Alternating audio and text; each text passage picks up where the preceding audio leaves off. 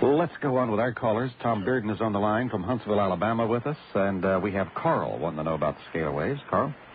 Tom? Yes, I Carl. can, can barely hear you, but I'll go on. Uh, I've read considerable about uh, Nikola Tesla in the past few years, and uh, one of the measurements that he made was in a storm, uh, the wave action, the electric wave action that went around the Earth, and he, he measured the amount of time and everything. And uh, what I wanted to know was, uh, is this in the same basic uh, uh, ELF type of frequency ranges? Uh, no, Carl, it's not in the ELF, but the, the point you bring up is very interesting.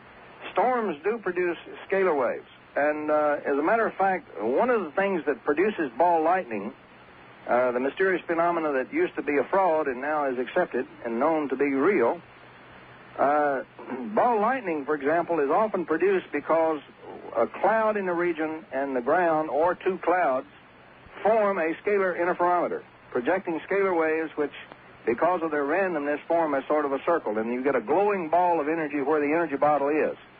And that's usually what produces uh, the ball lightning from the clouds. Now, what Tesla detected in Colorado Springs and, and uh, caused a great deal of excitement when he realized what it was, he detected the waves from the storm, even though it was very far away. And he realized that what he was looking at was something extremely unusual.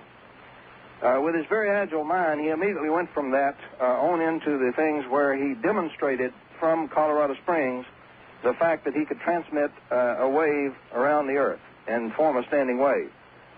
If he had succeeded in finishing the tower that he was building on Long Island, Wardenclyffe, he would have given the world free energy with such a standing wave. Uh, However, Wall Street did not like the idea. Uh, they, which figured, is normal. they figured energy was something to sell and something to tax. And so Uh, that ended that. All right, I have uh, two things I would like to find. One, one there in the last old